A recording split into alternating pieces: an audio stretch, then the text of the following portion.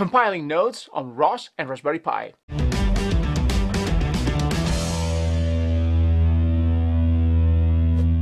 My name is Tiziano and if you're new to the channel, welcome! This is a series about ROS and especially ROS and Raspberry Pi. Last week I posted a very long video where I set up ROS on Raspberry Pi and I showed how you can use ROS for controlling a robocar like this one.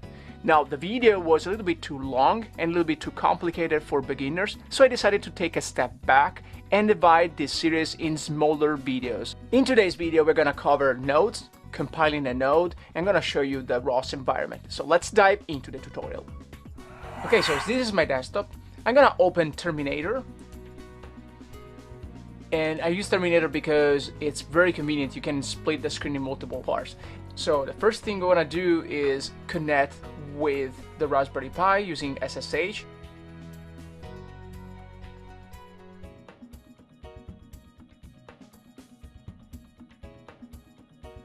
Now I'm in the Raspberry Pi. Now in the previous videos in the Raspberry Pi we installed Samba and using Samba I can browse in my Raspberry Pi shared folder and here it is what is it in the Catkin Workspace source folder. In the source folder I have two packages. One is Donkey Car that we developed last time Actually, last time we called it Donkey LLC, but I'm gonna change it to Donkey underscore car because it's more convenient for the future applications. And then we installed the ROS I2C PWM board package from Bradan Lane Studio. Now you have to get used to having multiple terminal open up in your environment because in each terminal you're gonna have one node or one launch file all the ROS master that is running. So on, in our case on Raspberry Pi, if we type ROS core, we realize that ROS is already running.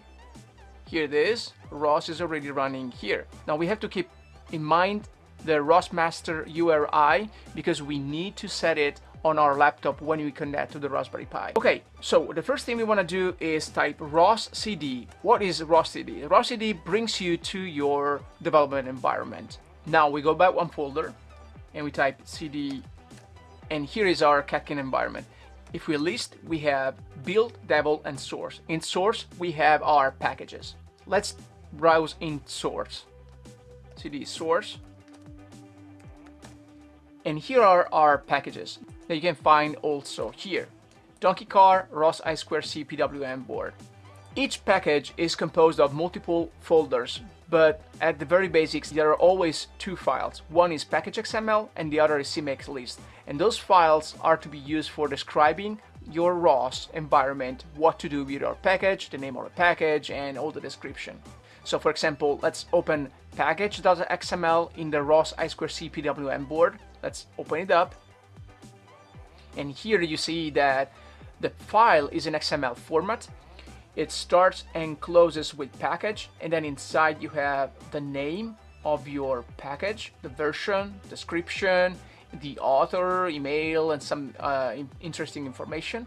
But also you have information uh, for ROS to build it and to run it. For example, the build dependencies are message generation, and we'll see what message generation is gonna be in one of the next videos. And then we have standard messages, standard servers, and then the dependency, it depends on ROS PY and ROS CPP. So there are C++ and Python code in this. If we open the other file, CMake list, CMake list contains uh, information about uh, what to include during the build process. I won't be going to very much in detail because we'll see in real application what those two files are really about. Let's assume that you have your package, that you build your package or you downloaded your package, what to do now? Well, what you want to do is you want to go into your Catkin workspace. So we go back now that we are in the Catkin workspace, we just type catkin underscore make. And this will take care of building your packages. And if everything is fine, it'll be 100% built and then everything is ready to go. After having compiled our environment, let's not forget to source the development environment. We type source, devel, and then setup.bash. If you forget to source your environment, you end up with a lot of errors. In order not to forget about it, we just write this line into our bash rc file that is the file that is going to be read every time you open a new terminal. So now that we have built our environment and we have sourced the environment, let's run the node. Now in order to run the node, we just type ROS run and then we type the name of the package, in our case I square C and then I hit tab. And with tab, ROS auto completes your line. This is really, really helpful. In fact, if I press tab once more, it's gonna open the file that I wanna run, that is I2CPWM board. This is because that's the only file that ROS could find in the package I2C board. And here is the, the node that is running. Now let's launch the other node that we've written that is the Donkey low-level control. We open another terminal and I split the screen here.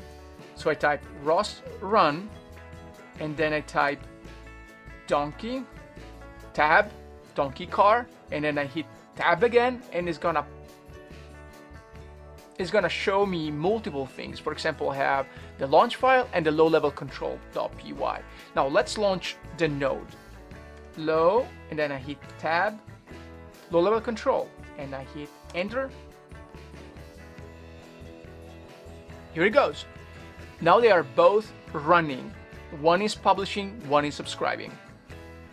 Now that was really great, but how can we speed up the process? Speeding up the process means how can I launch the two nodes all together at the same time? That's pretty simple. We just create a launch file. Here's an example of a launch file that we, that we created in the previous video. So in our environment, let's just type ROS CD and then we type the package donkey and then we can hit enter the ROS is a very convenient tool for finding packages in your environment. So here I want to go into the launch folder, CD launch folder, and inside I have a keyboard demo.launch file. Let's open this file, nano, and as you see, launch file starts and finish with a launch tag and then your launch file, you can put as many nodes as you want, or you can also launch other launch files. You can put parameters. We'll see in the future videos some more complicated launch files. But here, for example, we have one node here that is our donkey car node. And we start and finish with this node tag. And the node we want to launch is in the package donkey car.